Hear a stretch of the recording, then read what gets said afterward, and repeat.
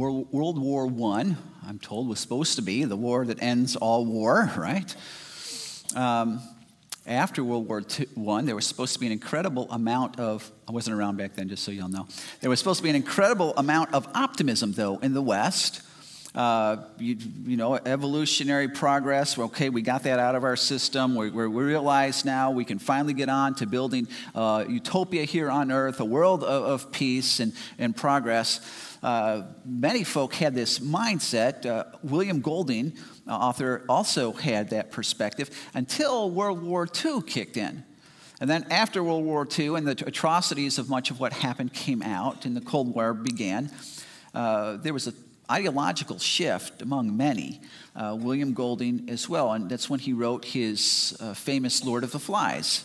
I don't know if you've read this or remember this, but a, a plane of, of schoolboys, choir boys, is shot down during war, World War II. Uh, they, they, a deserted island, they are uh, go to the island. They, all the kids make it. And when you first see them, they're marching down the beach and they're wearing their choir robes and they're singing in multiple heart, part harmony. And it's just wonderful. But as they're on this, this island with themselves, they change. They shed their choir robes. They start putting on war paint. They go out on hunts for food and they, they start enjoying the cruelty of killing the animals as they kill the animals. They begin worshiping the beastie they, they turn on each other, and there begins to be power plays and hate and prejudice, and, and uh, they begin to actually kill one another. And what Golding is saying is, is mankind left to himself will do this. This is, is the most sophisticated, the most educated. This is what's in our hearts. We can't get away from it. And, and, certainly, Golding wasn't far from wrong. You know, there are 10 major wars going on in this world right now Major war is any war where they have at least a thousand casualties per year. On top of that, there are 10 um, significant armed conflicts going on with, with less than a thousand deaths. There are another 15 armed conflicts that have around 200 or less deaths a year. This is what's going on. This has been going on since Genesis 4, right, with Cain and Abel. Um, gets into the domestic world, multitude are the victims of uh, domestic abuse, spousal abuse, child abuse. And if we stop and, and, think about it, how many of us don't have some sort of uh, relational graveyard in our backyard where friends or family just the relationship went south and we were just never able to put it back together. I mean, all of us have that experience. The warringness is in our heart. Now, Daniel knew all about warring. Daniel was taken from his home when he was about 14, 15 years of age. He spent his entire life in Babylon in a government that was uh, known for swallowing up people groups, known for their cruelty in war. Daniel knew all about war. Daniel was then in the Persian government a cabinet that was also known for its cruelty and swallowing up people. He knew all about war. And in the, the first six chapters of the book of Daniel, we went through that uh, months ago now, but it was uh, really answering the question how do you live godly in a pagan place? He's in Babylon, how do you live godly? But then the second 12, or second uh, set, six chapters, chapters 7 through 12, Daniel writes, and it shows us kind of his uh, journal, his private time. And in that, that last six chapters, he has four visions. He's got one in chapter seven. We talked about that one. He's got one in chapter eight. He's got one in chapter nine. Then he's got one in chapters 10, 11, and 12. Mike started us down that road last week of chapter 10. But this last vision for Daniel is a, vision of the war that really will end all wars. It's what we call, and what Scripture will call in other places, the Battle of Armageddon. If you have your Bibles, if you'll turn with me, chapter 10 of Daniel, even though Mike hit that last week, we're just going to touch on it for just a second. Daniel chapter 10. And if you didn't bring your Bible, oh, you should have brought it today. This would have been a good one. You some of the stuff, glorious, glorious text. I'm really convinced that there's no way in the world I can do it justice. We got a lot of information to go through, so hang on. But if you could see it in your word with the pen going, you'd be able to come back. So I encourage you to do that. Chapter 10, though, of Daniel, verse 1. It says, In the third year of Cyrus, king of Persia, that fourth vision, fourth vision comes in his third year. That's 537 BC. Keep that date kind of etched in your mind, real important. Um, a revelation was given to Daniel, who was called Belshazzar. Its message was true, and it concerned a great war. Now, not several wars, and we're going to see the vision in a second, and there's several wars going on in there, but those aren't the ones he's talking. There's a final, climactic war of all wars, and that's what he's pointing to. Now, eh, before we, we look at the, the vision, you got to ask yourself this why did God give Daniel this vision? God just decided, I think I'll give this vision to uh, any. Daniel's going to get it. Yeah. It wasn't there, was there more to it than that? And there was. Verse 12 of chapter 10. Uh, Daniel's talking to this angelic uh, visitor who came to give him the vision. Verse 12, it says, Then he continued, Do not be afraid, Daniel. Since the first day that you set your mind to gain understanding and to humble yourself before your God, your words were heard, and I have come in response to them. The vision is an answer to a prayer. Real important. Because if you want to understand the answer, you by golly better understand the question. If you don't know the question, you're going to have a hard time figuring out what the answer means. Daniel has, has been looking forward to. Uh, the release of the Jewish people for some time. Remember, he, he'd been waiting for it. Jeremiah let him know that in 70 years, the Babylonian captivity would end. And so Daniel's been counting down. He's been, year 539, Cyrus is on the throne, and Cyrus makes an edict. We've got this in the Cyrus cylinder. It's Cyrus's perspective. He makes an edict that all Israel can go back to, to Jerusalem and rebuild the city and rebuild the temple. They can all go back. And he says, and I'll flip the bill. And so Daniel's got to be going, yes, finally we can get out of this God-forsaken place. Let's go. Come on, let's all go. Now, Daniel, you got to keep in mind, is over 90. It's a 900 mile walk. Daniel might be thinking this might be just a bit, tad too much for me right now. But still, he's excited. Let's all go. Come on, come on. And scripture says only a remnant to go a, a small group of 40,000 people. The vast majority of them stay. And Daniel's got to be going, well, hey, well, maybe you didn't hear me. We can go back. Cyrus said he'll pay for it. Let's go. And the people are just kind of staring at him. Yeah, well, I don't, uh, I'm not so sure. And he said, wait, wait, wait. We can go back and rebuild, rebuild Jerusalem and rebuild the temple, you know, where we can sacrifice, where, where Yahweh dwells. We can, we can have our relationship with God put back together. Come on, let's go. And the people are like, yeah, well, you know. And they walk away. And Daniel's going, I, I don't understand this. We can go back and rebuild our relationship with God.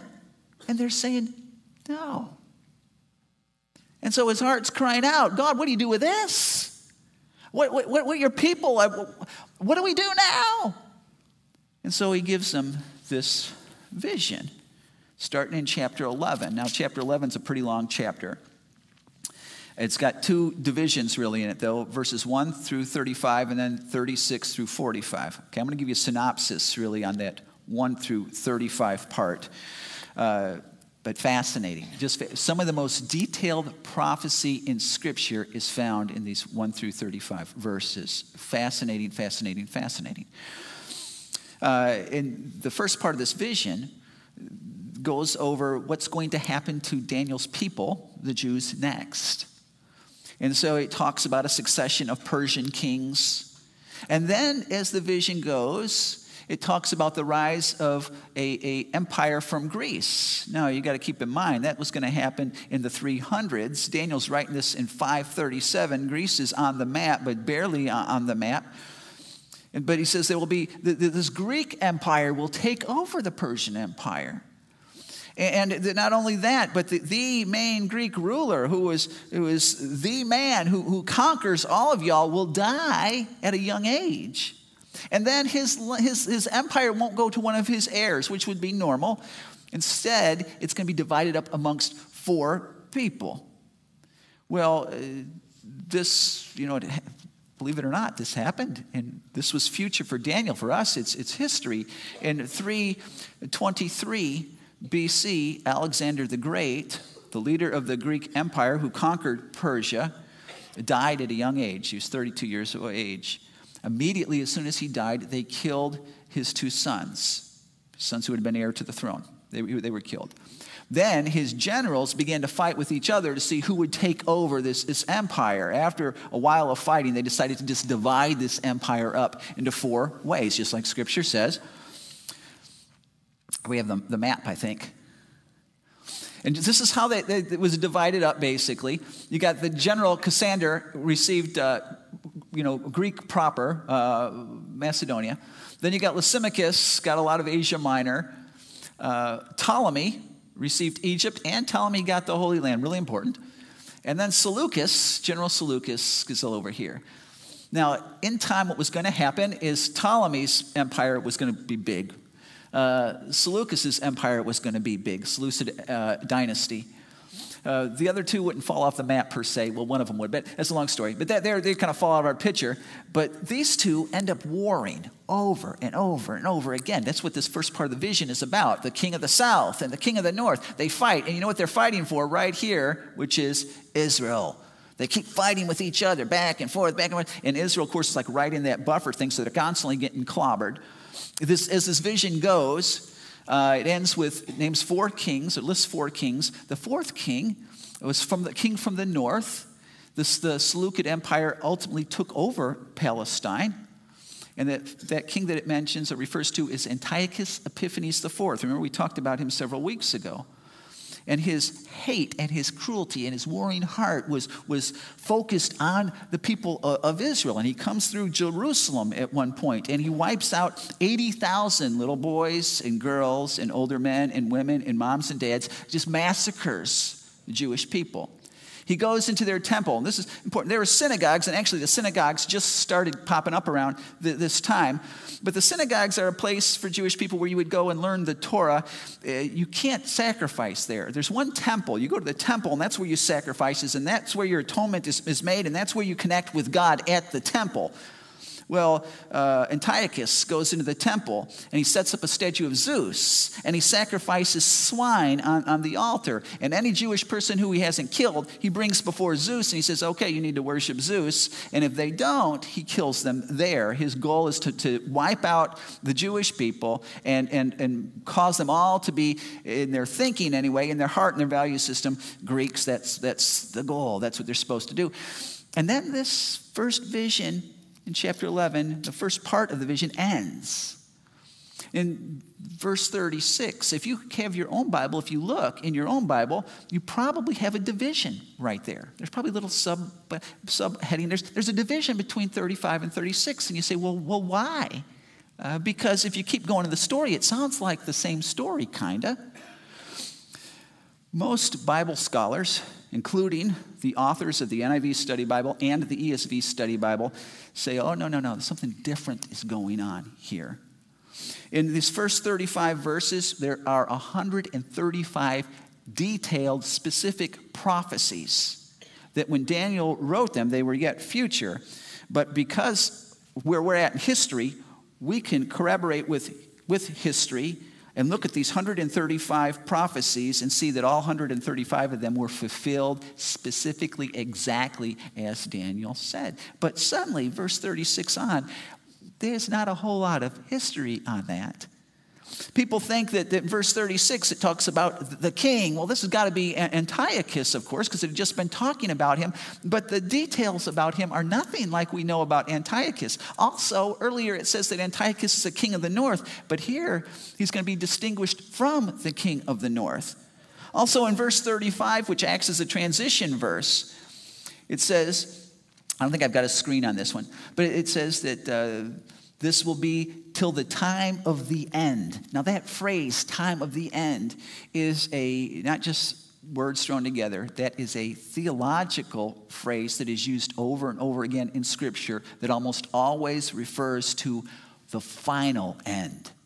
This is all this is going on, but then the final end. Let's talk about that. So, verse 36, you have the king will do as he pleases.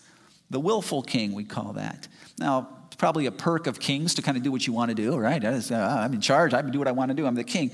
But, but this term refers to no limitations.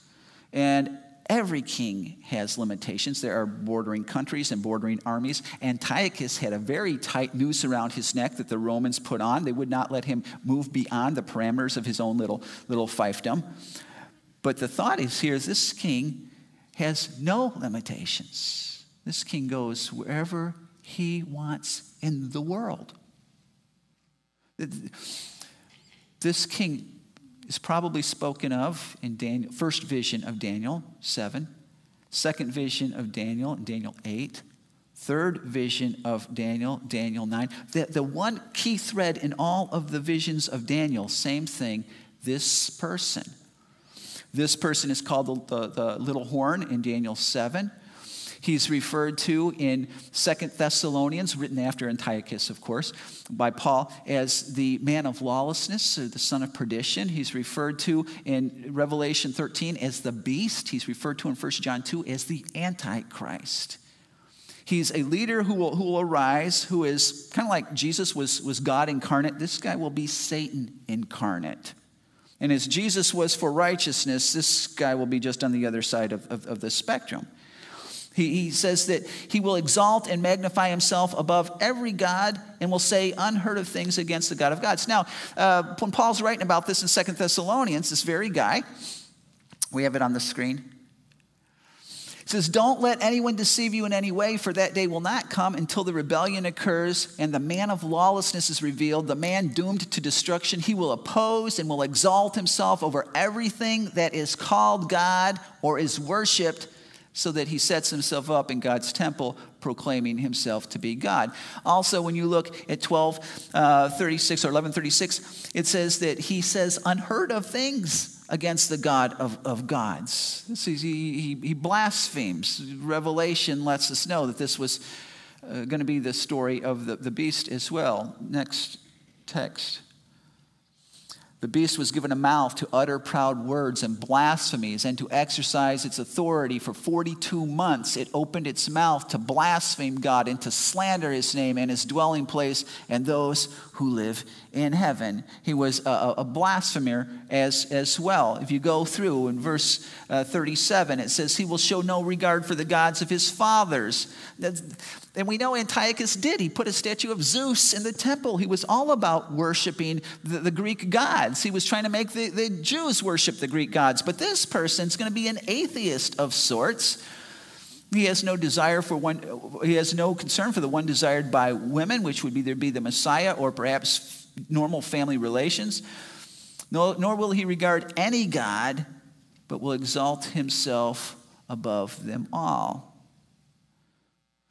then what transpires, if you go down into verse 40, I don't have this on the screen, so just listen, okay? This is getting up to Armageddon. This is this final Antichrist king. At the time of the end, there we have it again. Verse 40 the king of the south will engage him in battle. And the king of the north, see, differentiated from the king of the north, the king of the north will storm out against him with chariots and cavalry and a great fleet of ships, no doubt modern day equivalents. He will invade many countries and sweep through them like a flood. He will also invade the beautiful land, it's Palestine. Many countries will fall, but Edom, Moab, and the leaders of Ammon will be delivered from his hand. He will extend his power over many countries. Egypt will not escape, that's the south. He will gain control of the treasures of the gold and silver and all the riches of Egypt, and the Libyans and the Nubians in submission. But reports from the east and the north, now this is cryptic, I got that, but let's, let's focus for a second. But reports from the east and the north will alarm him and he will set out in great rage to destroy and annihilate many. He will pitch his royal tents between the seas at the beautiful holy mountain, yet he will come to his end and no one will help him. If you take the other texts in Scripture that talk about this final war, and this is not an isolated thing, Joel chapter 2, huge, Ezekiel 38 and 39, you, have got uh, Zechariah 12 through 14 talk about, talks about this final time. Revelation 16 talks about this final time. And putting that together, let me give you just a synopsis. What happens, it seems, is even in this, this Antichrist world empire, uh, there's disunity, there's division. How could hell be otherwise, right? And, and so there's a coup that begins to, to, to uh, fester. You've got a superpower from the, the south or the Arab bloc and it says that he's going to gain the Arab bloc's treasure, which I don't know. It's oil? I don't, I don't know. But they, they're coming up from the south. From the, from the north, uh, according to Ezekiel 38 and 39, Ezekiel names the geographical regions. He calls them Gog, Magog, Tubal, Meshech. These are geographical regions that are today located in, up in the area of, of Russia. And so the, the, the north is coming down. Also, Ezekiel lets us know that there's an empire from the east coming in. And so all of these, these superpowers of the world are converging to try to take this guy out. And as they come, they all find their way, they all kind of converge in a place called uh, Megiddo, the Valley of Armageddon. And initially, their desire is to, to wipe out the Antichrist. He does a job number on them, of course. And then, according to Revelation 19, Jesus comes back. Whole new sermon series. Okay, we're not going on there, but Jesus comes back, and it's not much of a battle, in all honesty. That's why it says, it doesn't give you a whole lot of detail, just he lost. Yeah, it's not much of a battle when Jesus comes back. Uh, he's done. But then chapter 12, and when you get, if you got your pen and it's your Bible, you go ahead, cross out that 12, because we know chapter divisions weren't added to like 1300, and this is just a bad one because the stories just keeps rolling. It says, at that time, what time? Well, the time the Antichrist is, is, is on the scene, the time that he is really um, uh, engaged. Michael, the great prince who protects your people, will arise. We saw Michael uh, earlier in chapter 10. Um, Michael is a scripture called the archangel. He's in charge of all the angels. He's the only one who has that title. There is thought that at one point somebody else had that title. That was Lucifer, who was the chief of the angels. But when he lost his position, Michael was kind of promoted. I don't know how the angelic uh, org chart works, but Michael was, was, was promoted. He's in charge. And when it says that um, Michael uh, rises, that means he stands up. That means that he is he's getting involved. And the reason why he has to get involved is because, again, this Antichrist is, is none other than Satan. And so he has to get involved. We see in in Revelation, where this actually is happening here, we see a very important thing. Revelation chapter 12 says, Then war broke out in heaven. Michael and his angels, Michael arose, fought against the dragon, and the dragon and his angels fought back, but he was not strong enough, and they lost their place in heaven. The great dragon was hurled down, that ancient serpent called the devil or Satan, who leads the whole world astray. He was hurled to the earth, and his angels with him. Now, this is not that initial thing when Lucifer fell and he was kind of booted from heaven. Think about Job 1 and Job 2, okay? Where, where God's up in, in heaven and Satan appears before him. Remember to kind of kind of try to rat Job out. Remember this story? Satan's there. Well, somehow he has access. And I don't know. He doesn't give us all the details. He's trying to start a coup here at this point. But Michael and the angels arise, kick him out. And it seems from Revelation, from that point on, it all Hell breaks loose on the, the, the people of God. Satan takes his uh, uh, anger, his vengeance, his hate against God, and brings it on God's, God's people. Uh, Michael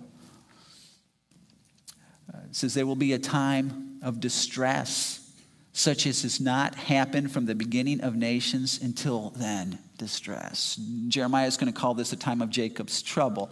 Zechariah 13 talks about this. This time of distress is what most of Revelation is about when we think of Revelation. Chapter 6 to 19 talks about this time of distress. Jesus prophesies about this. In Matthew 24, verses 15 and 21, Jesus says, So when you see standing in the holy place the abomination that causes desolation, spoken of through the prophet Daniel, let the reader understand. For then there will be great distress, unequaled from the beginning of the world until now, and never to be equaled again. Now, back in Daniel 7, it lets us know what happens when this uh, Antichrist person shows up. He signs a treaty with, with Israel for, for seven years, pact, uh, allegiance, whatever, for seven years. And the first three and a half are fine. But then this last three and a half, this is the time of great distress. And, and if you were to take all the passages, Revelation specifically on this one, you would learn that what goes on during this time of distress, well, it's war continuously, famine. There are uh, one third of the earth is destroyed, one third of the seas are destroyed, one third of the heavenly bodies, something transpires with them. Um, you have all the fresh water in earth ultimately being uh, polluted. You have uh, uh, plague and, and sores on people. You have demons unleashed on people. This will be a time of great persecution. During this time, two thirds of the people in the nation of Israel will be destroyed, they will be, will be, be killed. And you have to ask yourself, what is going on? Why? Why? Now, back up a second. I think you take God out of the picture, okay, just throw out God and His sovereignty and the rest of it, and you just leave us to ourselves. This kind of whole thing would be this much or worse by now anyway. And so um, you, you ask yourself why. God, it's what God uses often to bring us back. I think when Moses is perhaps prophesying even here in Deuteronomy 4, when Moses says, When you are in distress and these things have happened to you, bad stuff, then in the latter days, you will return to the Lord your God and obey him. Remember what's big on Daniel's heart is God, my people, they, they, they're blowing you off. What do we do now? I mean, if, if all of Babylon doesn't turn around, what do we do? Trouble often. Zechariah chapter 12. This is a great verses because this is talking about this exact time. It says, And I will pour out on the house of David and the inhabitants of Jerusalem a spirit of grace and supplication. Then they will look on me. This is God talking. They will look on me, the one they have pierced. When have people pierced God? And this is written 400 years before Jesus. Fascinating. They will mourn for him as one mourns for an only child and they will grieve bitterly for him as one grieves for a firstborn son. It's talking about Christ. Uh, the, the, crying, the tears are tears of repentance, tears of, of, of sorrow, godly sorrow. On that day, the weeping in Jerusalem will be as great as the weeping in Hadad Rimmon in the plain of Megiddo, the valley of Armageddon, or it will be as, or it will be the same thing as. It's this end stuff that God is going to use to bring back the nation. Apostle Paul is talking about this in, in, Romans 11. His heart is beating exactly, in Romans 9, 10, and 11, his heart is beating exactly like Daniel's. And he's, he's wondering, what will happen to the, to the Jewish people? They've blown God off. They don't care about him anymore. They quit. And so he says, I, I'd trade my salvation for theirs if I could make it work. Just any parent would do that for their child. And Paul is, is thinking that. He's thinking the same thing Daniel's thinking. What are we going to do for Israel? And here, he says that, that uh, in time, at the end, all Israel will be saved. There'll be a time when they come back as a nation. The nation who rejected him will come back as a nation. They will, they will be saved. Paul recognizes that the great distress, the great tribulation, its goal, at least one of its goals, is to bring Israel back to get them to a place where their heart is finally broken, where, where their, their stubbornness is, is, is done. And I don't say they have stubbornness and we don't, so please don't go down that road with me. Um, but uh, the goal of that, and you know as well as I do, sometimes it's through the pain that you and I decide to take a hard look at reality and where I'm at, and what's going on, and, and God's going to do the same thing here. And then, verse 2. You know, when I was a kid in Chicago, I didn't grow up in the, in the I wasn't in the ghetto, but I wasn't in lower middle class neighborhoods, probably where we were at, or, or a little bit less. One of the things we did in the summertime, because none of us had air conditioning, is uh, actually the older kids did this. I never did this, just so you know. They would go to the fire hydrant and they would take off the top, and then they, I don't know if they used a hacksaw or what, but they'd cut off like a third of it, screw it back on so that the hole was at the top, and then they'd get a tire iron and just open that thing up. The fire hydrant would, would come out, hit that hole, and poof, just spray. And every kid in the neighborhood is just in the middle of the street. We were just being drenched. It was glorious. Nothing, nothing was better than this. It was just wonderful what happens is when everything is bad, right? I mean, it is, it is really bad. It's not getting a whole lot better. Here, the, the, the vision shifts, and, and God pours blessing and hope on Daniel, so much that Daniel can't even handle it. In chapter 2, it, it starts. He says, Multitudes who sleep in the dust of the earth will awake, some to everlasting life, others to shame and everlasting contempt. Listen, you, you and I, in our New Testament theology, might understand the, the, the, idea of resurrection. This was not that big of a thing in the Old Testament, this was sketchy at best. And, and uh, you're not going to find a clearer text in the Old Testament that talks about resurrection. This, this idea of sleep is, is a metaphor. These guys have been dead and buried, and it says they will awake, they will rise.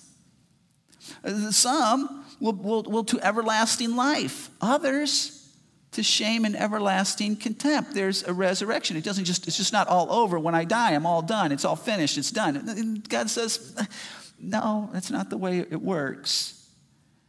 Um, verse 3. This is just two has got to be blowing his mind, but verse 3 says, Those who are wise will shine like the brightness of the heavens, and those who lead many to righteousness like the stars forever and, and, and, ever. In Scripture, at least from Proverbs on, the wise are those who realize that this is the Word of God, that realize that I've got a, a Creator. My life is to be lived for Him. I am submission to Him. I'm not, my, I'm not my own boss. I'm not in charge. He is, and therefore I live every element of my life in light of Him. That's what Scripture says is the wise person. At this point, the wise person is going to shine. And don't you love it? He equates the wise person with one who leads many to righteousness. I think this reward system that they're talking about is what crowns may be. It's what uh, uh, our rewards that we'll receive at the, at the Bema seat, what they are. And let me just take a break for a second because up to this point, the judgment has been corporate, corporate solidarity. The, the, the, the, repentance has been corporate. But here, the rewards are individualistic, real important. Let me just tangent for a second. If you, your heart beats with God's, and if you are committed to, to influencing people, what does it say? It lead many to righteousness. That's your heart. You, you pray for that. You try. You truly try. You want to see people come to know Christ. And so you, you, you try. You don't want to be offensive, don't be obnoxious, but you know that if this is true, this is a huge issue. And so that's where your heart is, and you're trying. Let me let you know something. You will have an incredible reward one day. You might say, well, I didn't see many come to know him, but I've tried. It's not your job. It's not my job to, to, to make people come to know Christ. It's the Holy Spirit's job. It's your job and mine to testify. And those who are doing such, their heart is beating with his. And somehow, I don't know if it's a reflection of the Shekinah glory of God. There's a brightness, there's, but it's, it will probably be pretty good, the re- reward that will be there one day. So, so, Daniel, even though this is way in the future, you just need to know Daniel, there's a, there's a reward day out there. But you, Daniel, close up this and seal the words of the scroll until the time of the end. Many will go here and there to increase knowledge. It's not talking about making this secret, it's just saying preserve it because one day, Daniel, the end will come. There'll be people, my people, who will live through this. And while they're through this, they're going to be looking for knowledge. They're going to need to know what this is about, and they're going to come check this out one day, Daniel. So preserve it. Verse 5 Then I, Daniel, looked, and there before me stood two others, one on the bank of the river and one on the opposite bank. The two others would be uh, angels, we assume. One of them said to the man clothed in linen who was above the water of the river, it's a third person clothed in linen above the water of the river, how long will it be before these astonishing things are fulfilled? Now, notice the angels don't know the answer here. The angels are asking, when will this be done? Does that remind you of a text in the New Testament, maybe? When the apostles come to Jesus and say, When will these end time things be? And Jesus says, The angels of heaven don't even know the answer to that question.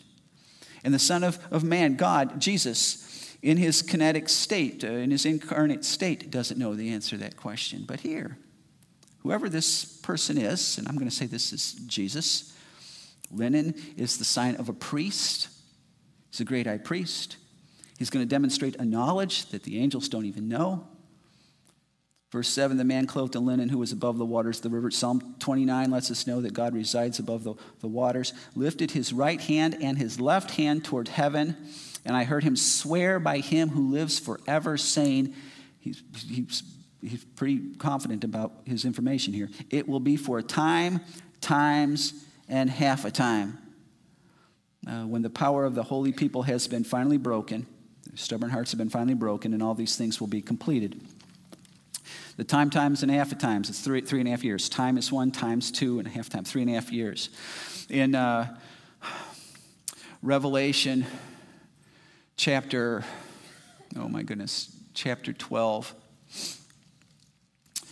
I believe it's verse 6. He says that it will be for 1,260 days, which is three and a half years. In Revelation 13 5, he says it's will be for 1,260 days, Jewish calendar, it would be three and a half years. Revelation 13 5, he says it'll be for 42 months, which is three and a half years. In Revelation 14 12, he says it will be for time, times, and a half a time, which is three and a half years. It's three and a half years from the time this, is, this, this, this distress breaks out to the time it is fulfilled.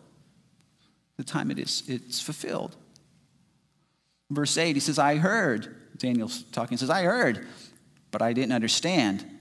So I asked my Lord, what will be the outcome? What will the outcome be of all of this? How's this going to go? Give me a little slack, Lord. You're flooring me here. I'm hearing all kinds of stuff right now. I'm trying to get my head around it. Uh, can you go through that again? Can we be a little clearer this time? You got some cryptic stuff you're saying here, uh, Lord. You know, studying end times does that, doesn't it? Have you done any major studies in, in the end times stuff? Sometimes when you, when you, often, always, when you get done with it, you have more questions than when you started. And a key question is when? And you did the same question the angels had and the apostles had in the New Testament. When is this going to be? It's just confusing sometimes. Daniel heard this. I mean, you're in good category, good camp, because Daniel said, I don't understand. And he just got it from Jesus. I don't understand. Daniel probably had his hand up on us as far as knowledge goes because he was close proximity.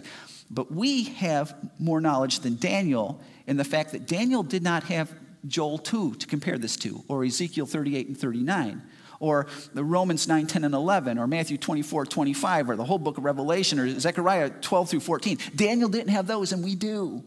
So we can have more knowledge than Daniel, but we still got to be honest with ourselves and say prophecy at best is a uh, rough sketch. It's not a photograph. Prophecy at best is in the shadows, it's not in, in, the, in, the, in the sun, and it can be confusing. And Daniel says, I'm confused, I don't understand. And I love Jesus' answer. Jesus replies, verse 9, Go your way, Daniel, because the words are closed up and sealed until the time of the end. In other words, no, I'm not giving you any more answers. No, sorry, you got enough. I've shared everything with you that you need to know. Uh, you're just looking maybe for me to solve curiosity. I'm not doing that. You, you got enough. Just live in light of what you leave the future to me. Do you trust me? You got a lot of questions, but do you trust me? I'll, I'll take care of it, Daniel. That's great counsel for Daniel. That's great counsel for us. It's okay to not have all the answers. End time stuff, God makes sure that we're not going to have all the answers. He does say, though, I want to I wanna address your prayer a little bit, though. Prayer for your people. Many will be purified, made spotless and refined but the wicked will continue to be wicked.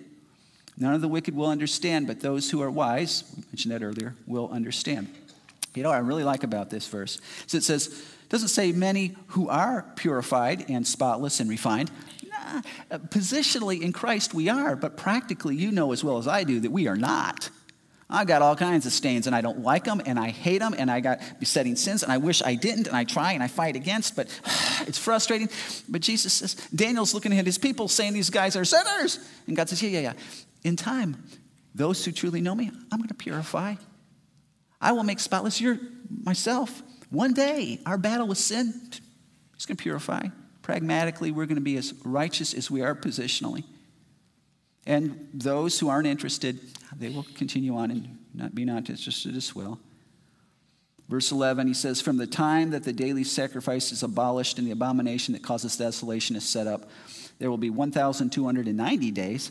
Blessed is the one who waits for and reaches the end of the 1,335 days. And you say, Whoa, uh, too much, too much information. Listen, I'm just getting my arms around this, this 1,260 days, this three and a half years. I'm just kind of, what's, the, what's this extra month? 1,290 days. And then what's this extra 45 days on top of that? You know, it's 1,335 days. Well, I think Jesus would say, nah, I'm not giving any more information. You got all you need to know. That there'll be a day when people, my people who are actually in this, check out these, they'll understand. They'll understand. But you don't, you, don't, you don't need to know the answers to that. And then he gives Daniel, now this is the greatest, this is so cool, because the very last verse of the whole book, Jesus is talking. He's giving Daniel counsel for basically summation of this entire book, especially its last, last six chapters, how to live this out. He says, As for you, go your way till the end. You will rest. Then at the end of your days, you will rise to receive your allotted inheritance. He says, Go your way. He says, Daniel, this is what I want you to do.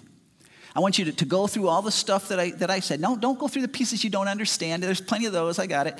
But what do you understand? You understand that, that from this day on, you just need to know that the world is not going to be a friend to your faith. You're just, just gonna, if you want to please them, you just need to know you're not going to make it. You need to, you need to, to realize that, that the uh, culture, the society, that not just at the end of times, but all the way through, there'll be those who rise up against your righteousness, trying to take you out spiritually. It's going to happen. But you need to know in that midst that I'm still in control, I'm still sovereign. You need to trust me with the future. So go your way, Daniel.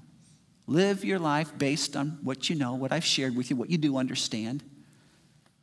And he says, You will rest. So you're going to die. Don't be afraid of death. And I, for those in Scripture, those holy saints, they never were. It was a, rest was a good word because they were wrestling with sin. They were wrestling with concern for other, other people. They wanted them to come to know him. It was a wrestling match continually, it seemed. And he says, There'll be a day, you know what, when you rest, when your fighting's done. When your fighting's done, and, and you die. But then, at the end, you will rise. Just as surely as you're going to die, you will rise. Do you believe that? To receive your allotted inheritance, and you will receive your reward. And if I could add to this, based on the rest of Scripture that refers to this, and your reward, oh, baby, it's going to be better than anything you can imagine. That's not bad counsel for Daniel. That's not bad counsel for us. Live, live our life, not based on what we don't know. And it's not to say we, couldn't, we shouldn't study and try to find out, but based on what we do know completely for Him. Not afraid of that time when He calls us home. To not live a life in such a way that when He does call us home, we're really nervous because we know we haven't lived up to it. It's not, it's a time to, to rest, knowing with the hope the resurrection brings, and that we will have a, a, a reward one day. Certainly. You might not have it in this life, but you, you won't have it in this life, but you will have it one day. If you live your life like that, Daniel. You're living out the book of Daniel. There's a story a little boy woke up with a nightmare one time, started screaming, Daddy, Daddy, Daddy, Daddy. Parents, we've all been there. Dad kind of stumbles in his room, doesn't turn on the lights, but stumbles in, what, what, what, what? And the boy, Daddy, Daddy, are, are you there? Dad says, Yes, yes, I'm here.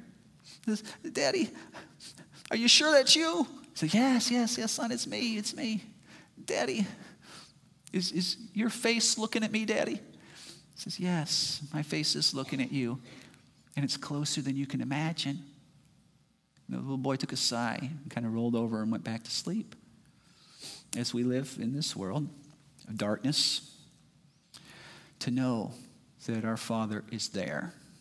We can't see him, but his face is looking at us. It's closer than we, we can imagine. He's, he's got it down.